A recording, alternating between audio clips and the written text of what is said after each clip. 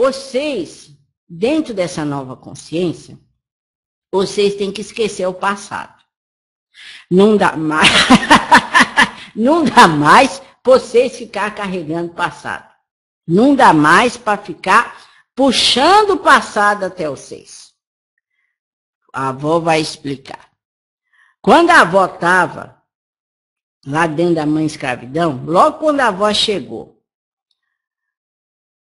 quem cortava menos cana, quem dos negros cortava menos cana no canaviar, que os homens lá contavam, pesavam, o que que acontecia? Ia pro tronco. E a avó já contou essa história para vocês, um pedacinho dessa história. Então a avó já sabia que essa era a lei. Tinha que cortar bastante cana para não ficar no último lugar e para não ir para o tronco. Então a avó cortava bastante cana. Só que aí o que, que aconteceu, meus, meus filhos? Tinha uma neguinha muito danada que roubava as canas da avó. A avó ia empiando as canas e a avó não via a neguinha lá roubando as canas. Porque ela não tinha força no pensamento para acreditar quantas canas ela tinha que cortar. E a avó sempre ficava na cabeça, eu tenho que cortar o máximo de cana possível. Então, a avó já entrava no canaviar querendo ser a melhor, e se não fosse a melhor, uma das melhores. E essa neguinha, o que, que essa neguinha fazia? Roubava as canas da avó. Até que um dia a avó foi pro tronco. Aí levou, não foi muita chibata que levou, não que quem estava dando essa chibata era o feitor. E o feitor, ele já gostava muito da avó. Eu sei que eu levei 14 chibata no lombo. Ai, meu filho. Eu não sei se a raiva maior era por causa da chibata, porque a, o, o, o homem mais velho que cuidava da fazenda pediu 35 chibata. Mas aí o feitor só deu 14. Não sei se a minha raiva era maior por eu estar ali no tronco ou porque eu fui traída pela minha irmã de pele escura. Bom, mas já estava no tronco, já tinha levado a chibata. Aí passei, ó, um bom pocado ali no tronco amarrada. Aí o feitor pediu para tirar. Pai José já era velho, não é tão velho que ele, ele já ele andava. Ele tinha uma. Ele, porque quando, quando eu falei para vocês, né, que quando eu conheci o pai José, ele já era velho. Eu fiquei velho, ele continuou velho. Então, eu não sei a idade que ele tinha, mas o pai José já andava pela, ali por toda a fazenda. Aí o pai José pegou três negros e foi lá me desamarrar do tronco. Eu tava o ódio em pessoa, meu filho. O ódio em pessoa. Aquelas dor em carne viva tava meu lombo. Aí pai José me levou junto com os negros lá para dentro da senzala. Foi, nem chorar eu chorava, meu filho. Não chorava, não. Ah, mas eu tava com tanta raiva que eu não chorava. Aí pai José me curou. Aí quando amanheceu, não tinha como trabalhar, né? Aí os negros foi trabalhar. Aí eu dormi um pouco. Já era tarde. Já quase, quase para anoitecer. Os negros já tinham avortado do canaviar. Aí pai José disse assim para mim. Vamos esquecer tudo isso? Aí já levantei, porque eu já estava mais ou menos. É, é, já tinha curado a, a chibata pela raiva. É, o senhor quer que eu esqueça? Porque não é no seu lombo que levou a chibata, né, pai José? Karma, Maria Conga, karma. Presta atenção. Isso aí já passou. Não, não passou não, porque está doendo. Karma. Quando que aconteceu isso? Ué, aconteceu o que eu fui lá. Não, não estou contando para você, não estou pedindo para você contar a história, porque vocês têm mania de chegar para a entidade contando toda a história que vocês acontecem. Vocês contam o que vocês estão sentindo, mas não é a realidade do que vocês estão vivendo. Às vezes vocês têm um problema, vocês chegam perto da, da entidade, ah, eu tô isso, isso, não, não, não, não. Isso é o que sei, emana do problema, não é a solução do problema. Eu não quero saber, Maria Conda, o que aconteceu. Eu quero saber quando que aconteceu essa chibata no seu lombo. Ué, o senhor está ficando é gaga. Aconteceu ontem. O senhor não viu que eu fiquei lá no tronco? Ah, aconteceu ontem. Vocês sabem me dizer mais ou menos? Ai, pai José. Ué, aconteceu bem antes, né? Do sol se pôr, porque depois que eu fui pro tronco, os, os negros ainda comeram. Então foi bem mais cedo. Então foi na primeira contagem dos canaviar? É, foi primeira contagem. Então vamos colocar mais ou menos na parte da manhã, né, Maria José? Eu falei, é, é, é, pai José. Então, Maria Conga, foi ontem, na parte da manhã. Hoje nós estamos no outro dia. O sol já está se pondo. Olha, meu filho, eu só, eu só abaixei minha cabeça. Que lição é essa que pai José quer que eu entenda? Maia Conga, já acabou. Já passou muito tempo. Eu sei que está doendo. Mas essa dor que você está sentindo é a dor do medo de ter ido para o tronco. Não é a raiva, é o medo, é o fracasso, é a desilusão de ter ido para o tronco. Vamos andar, já estava noitezinha, vamos andar um pouquinho para a fazenda. Eu não vou andar, não. Vamos andar, não se preocupe. Pegue no meu braço, que os homens brancos nem vai ligar que nós estamos andando. Pegue no meu braço. E, o pai já disse assim, eu tenho idas e vindas. Eles, eles, eu tenho como se fosse um privilégio. Pegue meu braço e vamos andar na fazenda. Aí estamos andando na fazenda. Aí ele olhando para cima. Aí ele disse assim: Você consegue entender que tudo isso que está acontecendo ao seu redor, a escravidão, é uma ilusão? Eu já ia falar assim, ilusão, porque o senhor fica sentado lá e o senhor não vai trabalhar no carnaval. Mas eu decidi ficar quieta, porque eu sabia que era uma lição que ele estava me dando. Eu peguei, eu só pensei. Eu não falei, eu só pensei. É fácil, né, pois é. O senhor fica sentado num banquinho pitando, até eu ah, vou achar que tudo isso é ilusão. Mas eu fiquei com a boquinha fechada. Eu nem falei nada. É, pai José, eu não entendo de que é ilusão, não, pai José. Presta atenção. Tudo que você está vendo nesse exato momento não existe. Existe sim a dificuldade de você entender a lei na terra. A lei na terra traz para os homens de pele escura a escravidão para estruturar os homens brancos. Você consegue entender que você é liberta neste momento? Que você pode fazer o seu melhor dentro da lei? E que tudo que aconteceu ontem nada mais é que são reflexos que já não, você não está mais vivendo.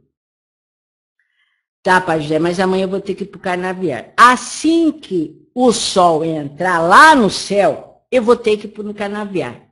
Você vai ter que ir para o. Mas por que que você pegou? Por que que essa lição dessa irmã sua de pele escura que roubou as suas canas? Qual é a lição que você tem que aprender? Eu tenho que aprender que eu vou dar um bom, uma boa surra nela. Eu vou rolar com ela no canaviar para ela para karma. Chega de tanta violência. Não alimente violência. O que, que você tem que aprender? Aí eu respirei fundo. O que, que eu tenho que aprender com a, com a chibata no meu lombo? O que, que eu tenho que aprender? Nessa hora, meu filho, nesse exato momento, meu corpo inteiro arrepiou. Eu olhei assim para minha esquerda, porque Pai José estava perto de mim. Mas quando eu olho para minha esquerda, eu não vejo nem para a direita, nem para a esquerda, Pai José. Quando eu olho assim para minha esquerda, quem que eu vejo? Exu, o orixá dos caminhos. Aquele que há muito tempo estava do meu lado, desde o tempo lá das terras longe que eu vivia. E por que, que ele não apareceu quando eu estava lá sendo presa na minha aldeia? E por que, que ele foi aparecer justamente naquela hora?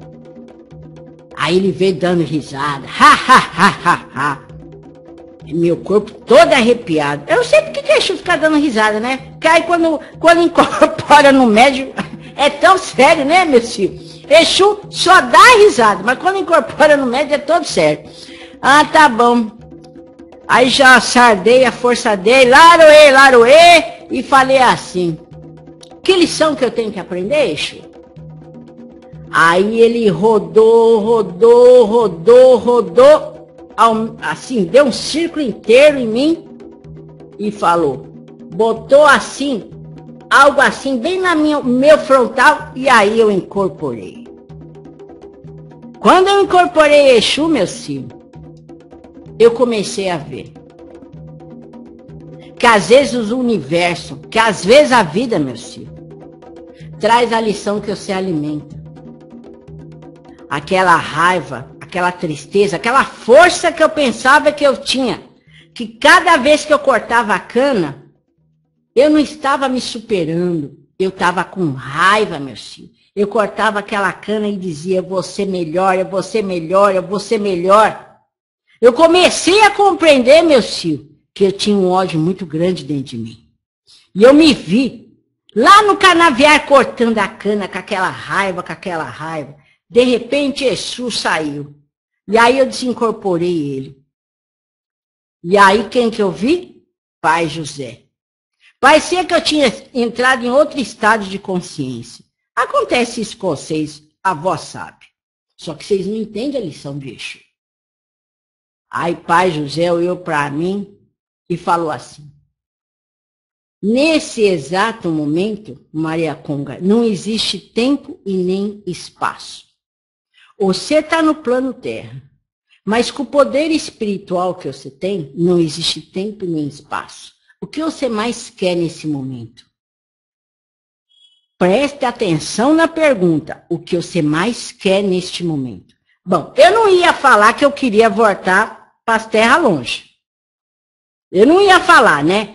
Quero voltar para as terras longe que não ia ter jeito. Eu não ia também falar que eu queria ser liberta. Porque como que eu, que, que eu ia fazer com a minha liberdade no meio de tanta escravidão que tinha naquelas terras? Eu quero sair do canaviar. Eu quero trabalhar na casa grande. Aí pai José disse, e o que você quer fazer na casa grande? Eu quero trabalhar quero varrer chão, quero fazer qualquer coisa, descascar batata, eu quero sair do canavial. Então preste atenção, Maria Conga. Não existe nem tempo nem espaço. Firme no vosso mental o que você quer. Firme. E cada vez que você cortar a cana, se desprenda de todo esse ódio, de toda essa tristeza, porque não existe. Não puxe o passado. Não puxe o passado.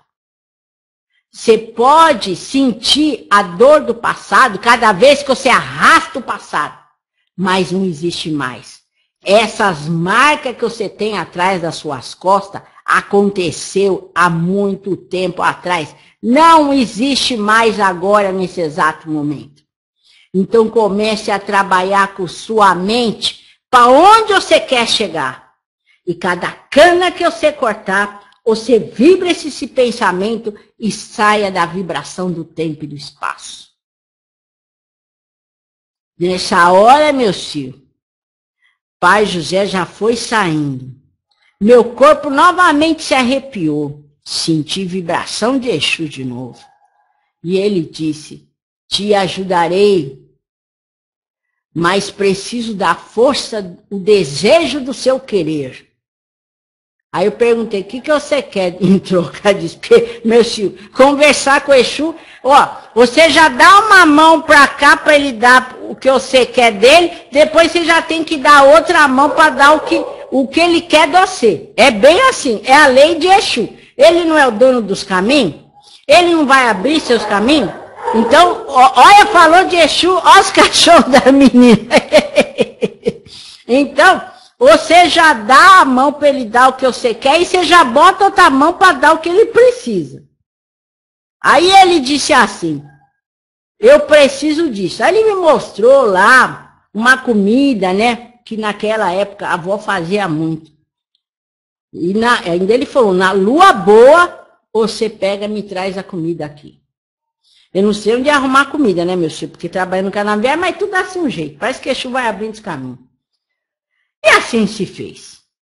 Cada vez que a avó ia trabalhar nos canaviais, antes disso já fui lá, dei um, dei um pito na nega. Já cheguei e falei, eu soube que você fez isso, e se você fizer, parece que era até a força de Exu falando para a menina. Não vai mais, nunca mais roubar minhas canas. E a avó já pensou, vou trabalhar com essa vibração do não tempo e não do espaço. Porque todos na Terra têm essa capacidade. Tudo que vocês veem ao redor de vocês, tudo que vocês veem ao redor de vocês, foi um homem que sentou, pensou e trouxe a invenção, porque tudo já existe. Só que ele precisou parar, não ficar na vibração do tempo e do espaço. Quando vocês ficam na vibração do, do tempo e do espaço, vocês querem, vocês desejam, vocês caem na ilusão, vocês caem na inconformidade, vocês caem na vibração das não conquistas. Vocês, vocês lembram que o Pai José disse assim? O que você quer, Maria Conga? Pensa direito o que você quer. Tá, vocês estão me entendendo o que a avó está falando? Que às vezes vocês fazem os pedidos para a espiritualidade, a espiritualidade é como se falasse assim, isso aí não tem, não tem, não tem nem pescoço nem cabeça, porque não dá para juntar. Porque às vezes vocês não estão preparados para o que vocês querem. É igual a história daquela mulher que quer um andador o mais bonito e o mais caro. Não sabe nem andar no andador, não sabe nem dirigir. Não sabe nem as leis da terra, que precisa ter um andador. Não tem nem dinheiro para pagar as coisas do andador. Vocês estão me entendendo? Essa é a grande lei dentro do pensamento. Por quê? Quando vocês começam, tem que prestar atenção no que vocês querem. Porque não pode ser árvore que a espiritualidade não pode semear. Não pode curar para trazer para vocês. Então vocês têm que saber, bom, eu quero mais moeda.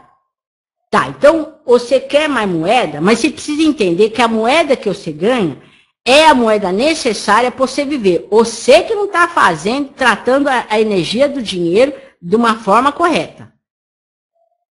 Então, se, ah, eu quero um amor. Será que você está preparada para amor mesmo? Ou você está pegando todas essas coisas erradas do seu passado? Vocês estão me entendendo?